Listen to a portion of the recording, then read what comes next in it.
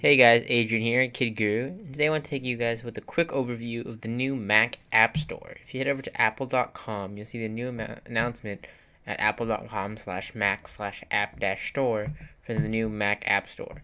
This is a release featuring more than a thousand apps and one new simple way to get them. So basically, this is unifying the iOS, iPad, you know, the iOS platforms App Store for the iPhone, the iPad, and now the Mac new Mac App Store, which was released earlier in the year or talked about earlier in the year, is going to feature some new stuff. So let me just move this aside here. Sorry. Um, the new Mac Store is going to allow you to basically get all the apps that are already in the App Store or a lot of Mac apps that are out there and put them all in one place for you to view the apps and download them and get them and it's it's just one simple interface you know so many people are used to the app store interface you know simple click to buy uh, you know top free apps top paid apps and this is bringing a lot of those famous Mac apps or you know those iOS apps and bringing them to the Mac to for the desktop. So you know you can have these on your MacBook Air, you can have these on your iMac, you can have this on your MacBook Pro. You can have the, the App Store anywhere you go on your laptop, on your mobile device, and on your iPad, etc.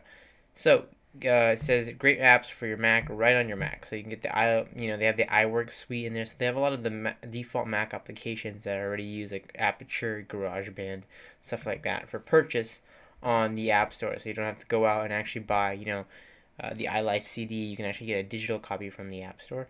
Uh, install any app with ease. It's going to be that simple, plain interface to get your apps. Keep all your apps up to date in one, uh, you know, management tool. So you don't have to worry about running. You know, if you install multiple apps, and you know, obviously you're going to have to.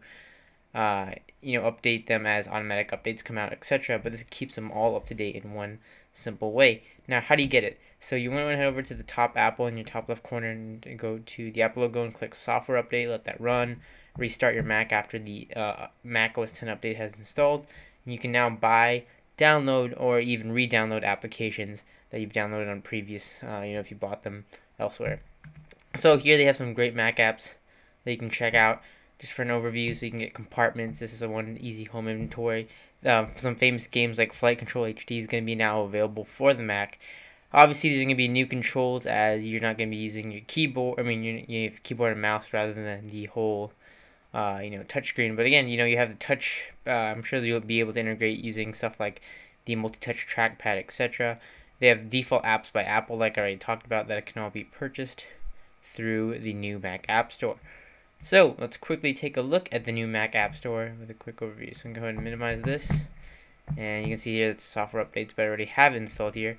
So here is the new Mac App Store. Very simple, very plain. Your options are all up here in the top left about the App Store, edit, store. You can actually sign in here with your iTunes account, which I'm not signed in yet. Uh, and, you know, other options like that. So here you have your featured, you have your top charts, which will show you everything that's top paid top free, etc. And you can give it, go ahead and give those a download. My pricing isn't actually in yen. That's Japanese currency, so nine thousand yen. is like ninety dollars around there. Uh, so yeah, don't worry about that. It's just I'm changing my country settings as of yet. You still have your categories like business, developer tools, etc. Um, you can also click this category button up here to see the top three apps in each category. That would be a little overview. So for productivity, you can have Evernote, uh, you know, MindNode for Mac, obviously all the apps aren't going to be out so you can see your medical there's not any in this category as yet. There's not a lot of apps just because it was just released today so i'm sure they're still transitioning a lot of apps and still getting some new apps added to the market.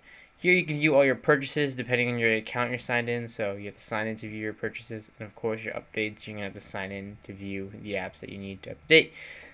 So it's consolidating all the mac apps out there and putting them in one easy to reach interface. Along with that, they're adding a lot of apps that are coming from the mobile platform that have made these, you know, gaming so famous. Like Angry Birds, for example, is going to be six dollars to buy on the Mac, um, and you can see here that it's going to be a different experience because obviously you're using this on a 10 times or more bigger screen depending on whatever monitor you have.